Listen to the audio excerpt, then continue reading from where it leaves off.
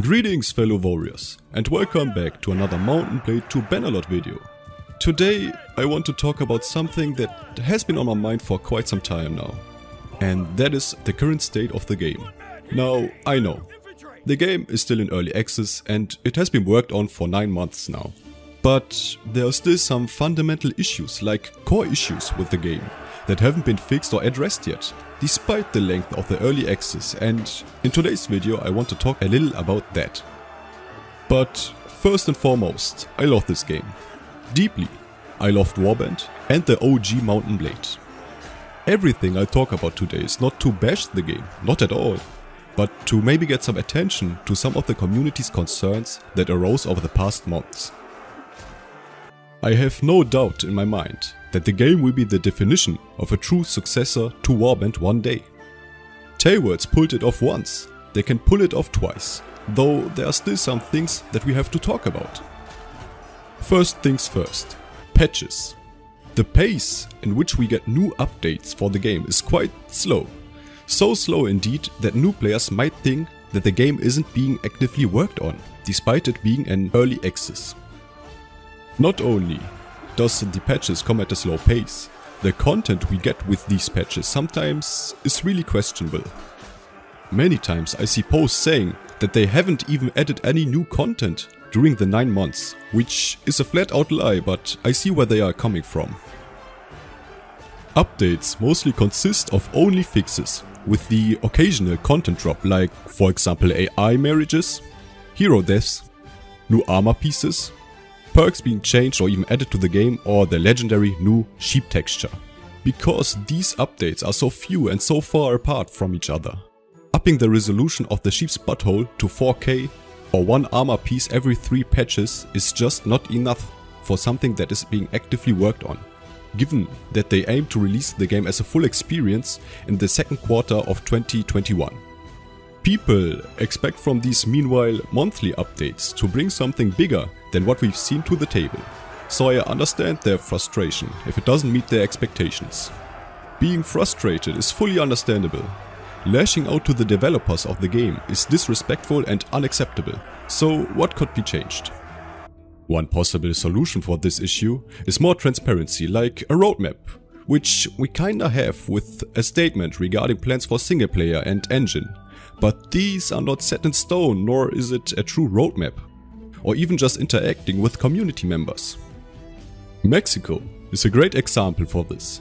You can see him almost every day on the forums, interacting with the community, giving his opinions and talking about the changes being made in future patches, like rebellions and fixing the snowballing issue. That way, the player knows what to expect in the next updates, and I hope that more of TaleWorlds' team is going to walk the same route as mexxico does. Next up, I want to talk about something more specifically, and that is sieges. Sieges are a big part of Bannerlord, and they have been somewhat broken since release. I'm talking about AI pathing bugs, like when your troops only climb one ladder on a siege tower, units being stuck in walls, the enemy forming a conga line for you to chop through noise and slow without them reacting and the list goes on. I understand they want to make each town and castle a unique scene. And it's time consuming to create AI pathing for so many settlements in the game. But it would have been nice if it would work on the few we have right now. Now, I know. Bannerlord is a new iteration in the series, and it has been called THE Mount & Blade experience, the devs have envisioned. But I'd love to see some returning features from Warband, like for example unique companions. It bothers me pretty much that the companions are so forgettable in Bannerlord. From the top of my head I can't really tell you what their names are in my last playthrough. Though when I think about Warband, I immediately think about Jeremus or Rolf or any other unique character with an actual backstory and their morals. During your journeys, they often had to say something about where they grew up or point to a settlement and talk about it, which immersed you even more. They expressed their thoughts and feelings about recent events for example when raiding a village or helping peasants, which resulted in a relationship decrease or increase. And in Bannerlord, companions are always randomly generated, with a name plus a suffix. The suffix determines the companion's starting skills like of the wastes, the falcon, etc. and a pre-baked story. They just don't feel as fleshed out as the ones in Warband because they don't care about the actions you take. They don't talk about where they grew up, who they killed or why they've started working as mercenaries. If they don't care who they are, why should you care who they are? I hope that we'll get some fleshed out companions in the future, with for example more fleshed out random companions, and even some unique ones we can encounter. We all can still laugh about dreamers being knocked unconscious, but can we laugh about X of the Wastes doing the same? What about the books we could read during our journeys to get like plus one in medicine for example?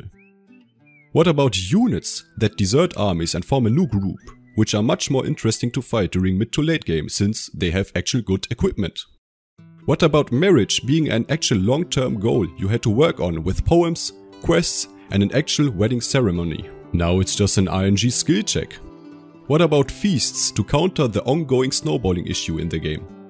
What about manhunters, so that villages won't create zero income at times because they get slaughtered by endless bandit hordes? I'd love to see these things being added or changed to the game, for it to become the one true Mount & Blade experience. What do you think? I know this is a more controversial video, since everyone has his own thoughts and opinions, so I'd love to see them in the comment section down below. What is good as is? What is bad? What can be changed? Let's have a discussion. But I don't want this video to end on such a negative note. The next patches are aiming to counter the snowballing issues we have in the game, as well as adding a whole new mechanic, rebellions, where settlements that have been taken by one faction can start a rebellion so it reverts back to the previous one and I'm pretty excited for that. This video has been somewhat different from the usual stuff I've been doing. I'd love to do more videos like these in the future, so if you like this video, please hit that like button. It helps me and the channel out a lot. And if you like what I do in general, consider subscribing to the channel. We are almost at 40k, so I'm thinking about what I can do as a special. Join my Discord where you can talk with me and other people about all kinds of stuff, and I see you all in the next one. Stay safe warriors and bye.